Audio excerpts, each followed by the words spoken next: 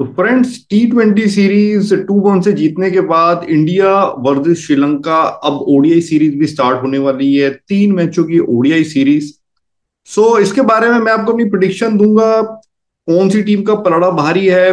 पर उससे पहले हम दोनों टीम के स्क्वाड पे भी नज़र डालते हैं और क्या इन दोनों टीम्स की एक्सपेक्टेड प्लेइंग इलेवन हो सकती है उस पर नज़र डालते हैं। ये इंडिया का स्क्वाड है इस सीरीज़ में। Rohit Sharma captain Hardik Pandya vice captain so vice captaincy से के राहुल को हटा दिया गया है और हार्दिक पांड्या को अब ओडीआई में भी वाइस कप्तान बनाया गया है। और प्लेयर्स है Virat Kohli, Shubham Gill Surya Kumar Yadav, Shreyas Iyer. K Rahul as wicket keeper batsman Ishan Kishan as wicket keeper batsman then allrounder Washington Sundar Yuzi Chahal, Kuldeep Yadav, Axar Patel तो चार स्पिनर्स हो गए यहाँ पे, जिसमें कि दो ऑलराउंडर्स है, सुंदर और अक्षर पटेल। फिर पेसर्स मोहम्मद शामी, मोहम्मद सिराज, उमरान मलिक, अर्शदीप सिंह, जसप्रीत बुमराह तो आप देख रही है, इस स्क्वाड में कुछ नेम्स जो मिसिंग है खास तौर से शिखर धवन, इनको ड्रॉप किया गया है। साथ में ऋषभ पंत ऋषभ पंत हालाँकि अभी एक्सीडेंट की वजह से क्रिकेट से बाहर है बट ओरिजिनली इनको ओडीआई स्क्वाड में नहीं लिया गया था। इस पे भी काफ़ी बातें हुई थी कि क्या पंत को ड्रॉप करना चाहिए था। और संजू सैमसन भी ओरिजिनली स्क्वाड में जगह नहीं बना पाए थे। इनकी भी परफॉर्मेंस अच्छी जारी थी। और एक खास बात नोट करने वाली है कि बुमराह का कम हो रहा है। आफ्टर इंजरी छह महीने के बाद अब ये क्रिकेट में वापस आ रही है। और हम इंडिया की टीम देखें तो काफ़ी स्ट्रांग नज़र आ रही है। लग रहा है कि इस सीरीज़ को काफ़ी सीरियसली ले रही है।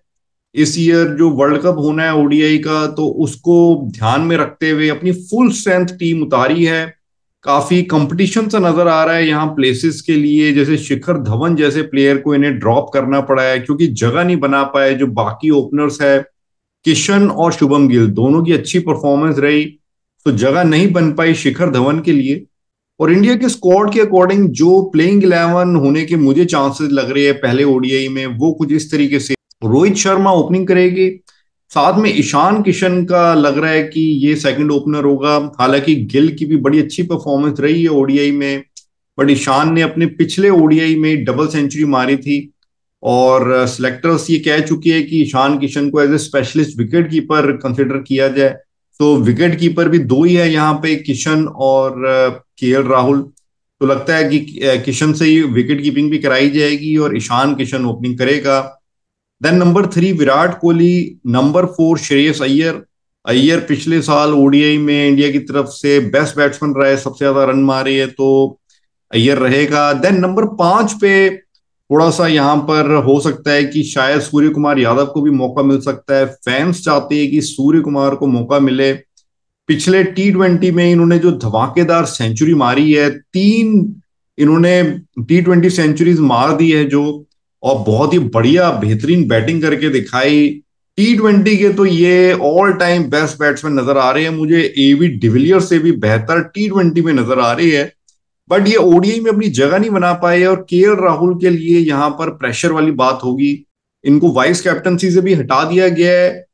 हालाँकि एज ए कैप्टन जो पिछले कुछ मैचेस रहे बांग्लादेश में, वो जीती टीम इंडिया बट इनकी बैटिंग पे असर नज़र आया। एज ए कैप्टन ये बैट बैटिंग उतना अच्छा नहीं कर पाए और इनके ऊपर प्रेशर है। हालाँकि के राहुल मेरे ख्याल से इन्होंने ओडीआई में अच्छा परफॉर्मेंस दी है as a batsman and number four and five but competition काफ़ी हो रहा है प्लेसेस की वजह से। सो देखना होगा इंडिया किसको प्रेफर करती है नंबर फाइव मुझे लग रहा है शायद के राहुल को पहले ओडीआई में तो प्रेफर किया जाएगा।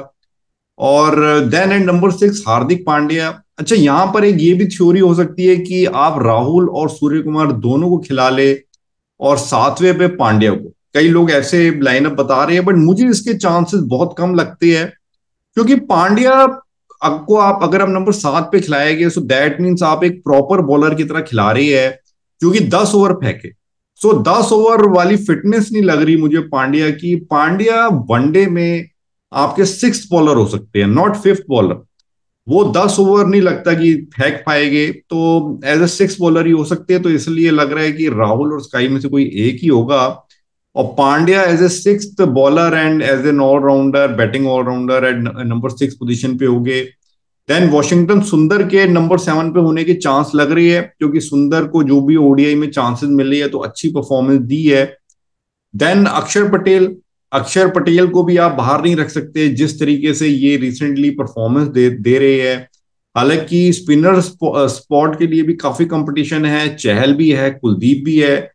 बट सुंदर और अक्षर दोनों को ही टीम में जगह लगता है कि ज़्यादा डिजर्व करती है। देन यूजी चहल या मोहम्मद शामी मुझे, में से मुझे कोई लगता है कि कोई एक होगा। डिपेंडिंग अपॉन कि इंडिया किस बॉलिंग कॉम्बिनेशन से जाती है। अगर तीन स्पेशली स्पेसर्स के साथ जाती है तो शायद शामी को प्रेफर किया जाएगा। अदरवाइज़ अगर इंडिया तीन स्पिनर्स के साथ जाना चाहे तो चहल को लगता है कि प्रेफर किया जाएगा। हालाँकि इंडिया के पास अर्शदीप सिंह भी है, उमरान मलिक भी है बट शामी को अगर स्क्वाड में लिया है सो इसका मतलब पहले ओडीआई में उसको प्रेफर किया जाएगा। देन बुमरा डेफिनेटली हो गए और मोहम्मद सिराज भी मुझे लगता है कि खेलेगी क्योंकि 2022 में इंडिया की तरफ़ से ओडीआई में सबसे ज़्यादा विकेटें ली है सिराज ने। तो सिराज का भी खेलना मुझे इसके ज़्यादा चांसेस लग रही है। तो ये इंडिया की एक्सपेक्टेड इलेवन लगती है। फिर हम श्रीलंका के देखिए तो श्रीलंका का ये स्क्वाड है, जैसे आप स्क्रीन पे देख रही है पथुम निशांका अविष्का फर्नांडो, अशीन Bandara, Nuwanidu Fernando, Dasun Shanaka their captain Charith Asalanka, Dhananjaya de Silva Chamika Karunaratne Wanindu Hasaranga, Kusal Mendes wicket keeper Sadeera Samarawickrama, Maheesh Theekshana Kasun Rajitha, Dilshan Madushanka, Dunith Wellalage Lahiru Kumara Jeffrey Vandersay Pramod Madushan. So so, इनकी भी इनका भी स्क्वाड अच्छा है फुल स्ट्रेंथ टीम पे है। और इनके जो बैट्समैन मुझे लग रहा है कि इस सीरीज़ में अच्छा कर सकती है निशांका और कुसाल मेंडिस। इनके ये दोनों ओपनर्स इन्होंने 2022 में काफ़ी अच्छा परफॉर्म किया है। पर इंडिया की तरफ़ से भी बॉलिंग अटैक स्ट्रांग है। तो अगर ये न्यू बॉल उनकी अच्छे से फेस कर लेते हैं तो तो लंबी इनिंग खेल के दिखा सकती है। साथ में चरित असलांका की भी ओडीआई फॉर्मेट में काफ़ी अच्छी परफॉर्मेंस जा रही है। तो इनसे भी श्रीलंका को एक्सपेक्टेड होगा और और एक जो प्लेयर मुझे लग रहा है कि सरप्राइज़ पैकेज साबित हो सकता है, अगर उसको मौका मिलता है, वो होगा जेफरी वेंडर से तो हालाँकि ये एक लेग स्पिनर है और इनके पास ऑलरेडी हसरंगा के रूप में ऑलराउंडर लेग स्पिनर मौजूद है जिसका ज़्यादा नाम है। बट मुझे लगता है कि वेंडर से भी सरप्राइज़ कर सकते हैं इंडियन बैट्समैनों को। इसने कम ओडीआई खेले है बट जितने भी खेले है तो इम्प्रेसिव परफॉर्मेंस रही है। सो so, श्रीलंका स्कोर के अकॉर्डिंग जो इनकी प्लेइंग इलेवन मुझे लगती है वो कुछ इस तरीके से होगी। पथुम निशांका और कुसाल मेंडिस ओपनिंग करेंगे। Mendis is the wicket keeper batsman then Avishka Fernando Charith Asalanka, Dhananjaya de Silva then Dasun Shanaka their captain at six Wanindu Hasaranga, Karunaratne Theekshana, मधु शनाका और लहीरू कुमार। तो ये श्रीलंका की प्लेइंग इलेवन होने के चांसेस है। जहाँ तक इस सीरीज़ का सवाल है, देखिए, पलड़ा तो इंडिया का भारी है इंडिया होम टीम भी है इंडिया की काफ़ी जो स्क्वाड है प्लेइंग इलेवन है मज़बूत भी नज़र आ रही है, कोई एक्सपेरिमेंटेशन नहीं है। अपनी फुल स्ट्रेंथ टीम से ये जा रही है।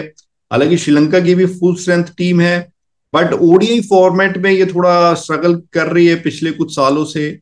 सो so, मुझे नहीं लगता कि श्रीलंका उतनी टक्कर दे पाएगी अब की बार जितना इन्होंने टी ट्वेंटी में दी है इंडिया को। साथ ही इंडिया के लिए जो एक कंपटीशन है प्लेसेस के लिए इसमें भी लगता है कि जो भी प्लेयर्स है वो बिल्कुल सीरियस होकर परफॉर्मेंस देंगे। और सीरीज़ तो इंडिया जीतेगी that is my prediction about the series और मुझे इस सीरीज़ में क्लीन स्वीप होता नज़र आ रहा है कि इंडिया थ्री ज़ीरो से ये सीरीज़ जीतेगी। So that is my series prediction कि इंडिया क्लीन स्वीप करके थ्री ज़ीरो से ये सीरीज़ जीतेगी। सो so फ्रेंड देखते हैं कैसे रहता है इस सीरीज़ में।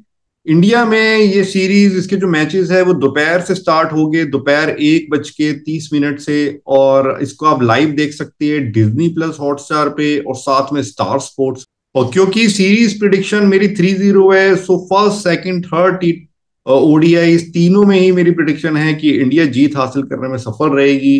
तो लेट्स सी फ्रेंड्स कैसे रहती है सीरीज़ और श्रीलंका कितनी टक्कर देती है, क्या इस सीरीज़ को रोमांचक बना पाती है? Let's see